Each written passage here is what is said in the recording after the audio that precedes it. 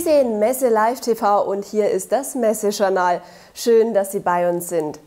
Der Startschuss für die 24. Medientage München ist heute gefallen.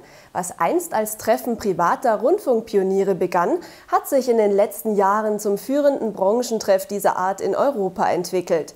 Heute gehören die Medientage München mit über 7000 Teilnehmern aus dem In- und Ausland, mehreren hundert akkreditierten Journalisten, über 500 Referenten und mehr als 90 Einzelveranstaltungen zu den wegweisenden Events für die Medien- und Kommunikationsfachwelt.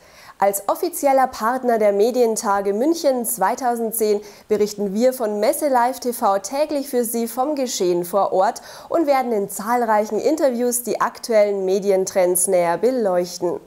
Wie jedes Jahr starteten die Medientage mit dem traditionellen Mediengipfel, an dem auf Einladung des bayerischen Ministerpräsidenten die Top-Player der deutschsprachigen Medienwirtschaft teilnehmen und die Trends der Medienbranche analysieren. Stefan Müller-Artelt war für Messe Live TV mit dabei. Unter dem Motto Wert und Werte der Medien in der digitalen Welt öffneten heute die 24. Medientage München ihre Pforten für Besucher und Fachpublikum. Seit ihrem Beginn im Jahr 1987 hat sich die jährliche Veranstaltung im International Congress Center an der Neuen Messe München mittlerweile als Trendsetter unter den Medienmessen etabliert. Ich glaube, es ist eines der Highlights wie jedes Jahr. Und ich glaube, es ist ganz, ganz wichtig, eben neben den Veranstaltungen und auch neben den Diskussionen, dass sich die Branche hier trifft, sich austauscht. Wir kommen alle hierher, das ist ein großes Familientreffen, aber es wird eben nicht nur Kaffee getrunken und gefeiert, es wird also im Grunde auch fachlich hier einiges auf die Beine gestellt. Und ich glaube, dass auch oft durch die Medientage so gewisse äh, Initialzündungen entstehen, die der ganzen Branche gut tun. Die ökonomischen wie auch gesellschaftlichen Werte der Medien im digitalen Zeitalter stehen im Zentrum der diesjährigen Medientage. Angesichts des Verfalls der Werbepreise und der geringen Zahlungsbereitschaft der Nutzer wird der Wert von Werbung und der Medien zur Überlebensfrage der gesamten Kommunikationsindustrie. Neue Strategien sind daher dringend vonnöten. Trotz oder gerade darum ist man in der Branche grundsätzlich positiv gestimmt. Es hat sich sicherlich einiges getan und ich bin auch weiterhin sehr zuversichtlich, weil insbesondere die Medienbranche sich mittlerweile auch beginnt, sich mit neuen Themen zu nähern. Sicherlich auch ein bisschen äh, herausgefordert durch das, was äh, insbesondere von Google und Apple auf uns hereindrückt. Aber ich bin sehr positiv gestimmt, insbesondere auch was die elektronischen Medien und damit auch klassischerweise das Fernsehen angeht. Dort warten sicherlich neue Herausforderungen, aber neue Technologien äh, auf uns, die aber sicherlich vom Zuschauer auch angenommen werden.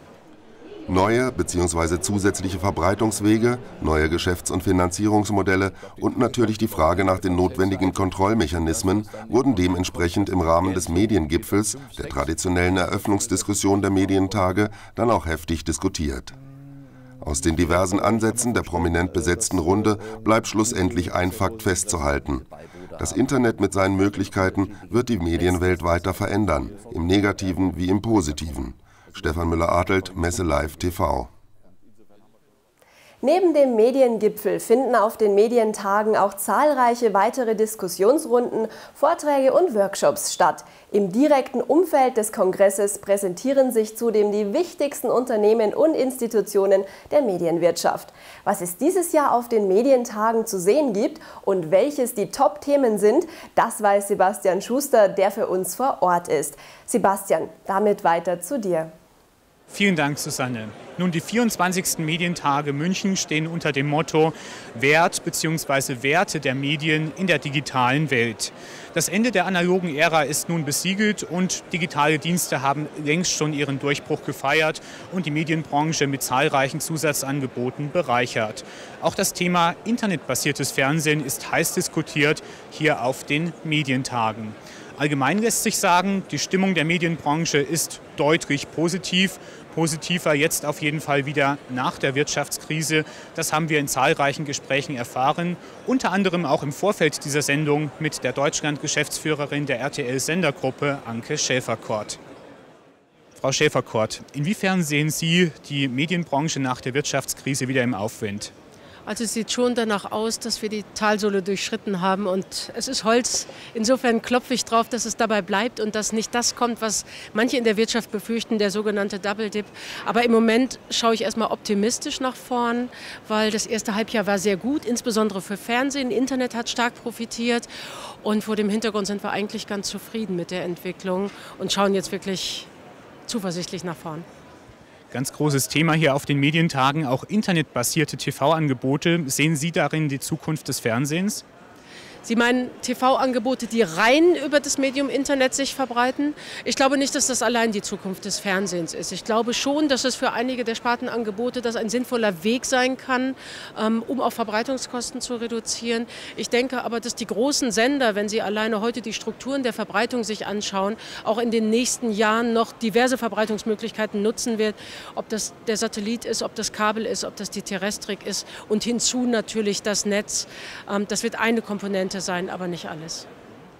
RTL ist ja nun auch über HD Plus in HD empfangbar. Welche Bedeutung spielt HD für Ihre Sendergruppe und auch mit Blick in die Zukunft?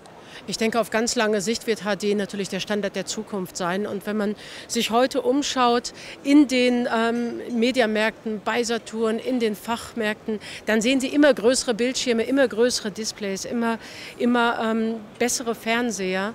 Und da macht es einfach Spaß, das Bild in HD zu genießen und nicht nur in SD oder im, im, analogen Signal. Und vor dem Hintergrund glaube ich, dass HD schon wirklich relevant sein wird in einigen Jahren. Vielen Dank, Frau Schäfer-Kort. Gerne.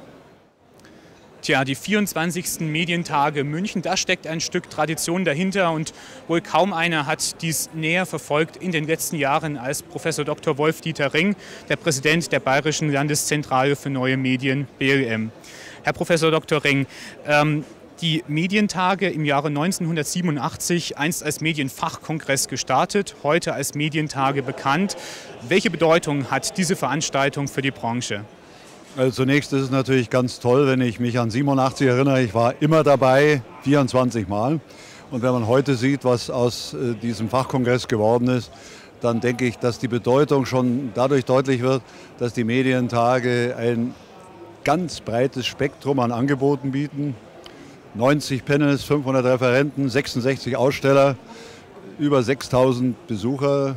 Äh, und es wird wahrgenommen, sehr viel mehr natürlich wahrgenommen als ein Fachkongress, obwohl natürlich die Fachthemen nach wie vor äh, hier die zentrale Bedeutung haben in all den Panels, die wir hier organisiert haben.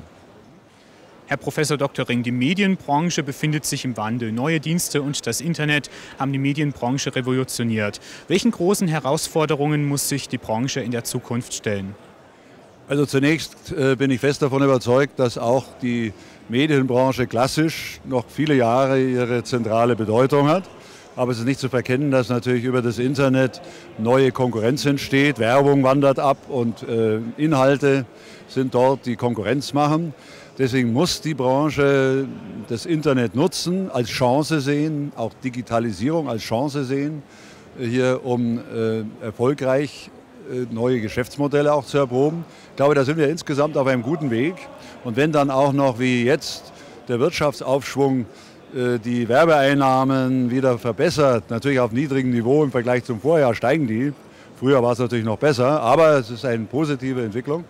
Dann kann die Branche auch diese Herausforderung bewältigen, weil sie auch wirtschaftlich, jedenfalls viele davon, nicht alle wirtschaftlich dazu in der Lage ist. Die Wirtschaftskrise hat ja nun auch vor der Medienbranche nicht Halt gemacht. Sehen Sie mittlerweile die Medienbranche wieder im Aufwind? Also ich denke, die neuesten Daten, die allerdings Momentaufnahmen sind, zeigen, dass die Medienbranche zugelegt hat insgesamt. Allerdings hängt das mit der Konjunktur zusammen. Wenn die Konjunktur sich nicht so positiv weiterentwickelt, wird es auch die Medienbranche spüren. Das will ich gar nicht herbeireden. Ich glaube an die Weiterentwicklung der Konjunktur. Und insofern können wir eigentlich optimistischer als noch vor einem Jahr oder zu Beginn des Jahres in die Zukunft schauen. Ja, Zukunft ist ja ein ganz gutes Stichwort. Dann lassen Sie uns doch mal abschließend in die Zukunft blicken. Deutschland im Jahr 2020. Wie könnte da die Medienbranche aussehen? Haben bis dahin internetbasierte Angebote das klassische Fernsehen komplett von der Bildfläche verdrängt? Also ich glaube nicht an volle Abdrängung. Die, Vor äh, Abdrängung. die Vorteile einer Rundfunktechnologie von einer Stelle wird es an alle verbreitet und das zeitgleich mit hoher Reichweite die werden auch noch längere Zeit äh, genutzt werden. Äh, und gerade in einer digitalen Entwicklung der Technik kann man die Bandbreite der Angebote erhöhen, neue Geschäftsmodelle entwickeln. Verschlüsselung ist immer so ein, ein Reizwort, aber das wird kommen. Geschäftsmodelle, wo halt der Zuschauer für besondere Qualität und zusätzliche Inhalte jenseits des Pay-TV etwas mehr bezahlt. Ist ja jetzt auch schon auf den Weg gebracht. Aber wir werden natürlich eine erhebliche Veränderung haben, dadurch, dass das Internet äh, hier eine immer größere Bandbreite einnehmen wird.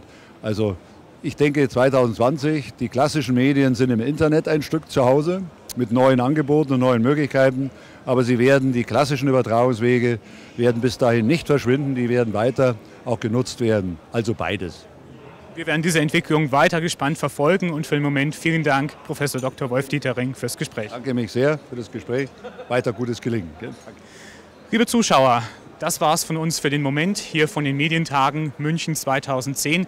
Alle Sendungen von den Medientagen finden Sie auch zum Abruf auf unserer Website www.messelive.tv. Vielen Dank fürs Zuschauen.